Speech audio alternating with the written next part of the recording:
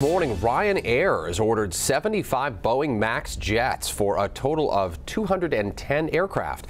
A live look here at the uh, executives as they answer questions about this deal that was just signed and, and announced.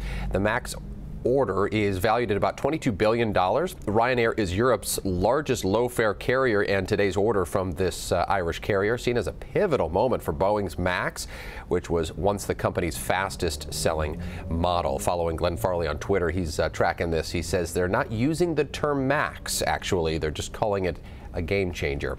Perhaps some uh, PR uh, moves there by these executives to try to wipe the slate clean and start over with the MAX. It's been a tough few years for everyone.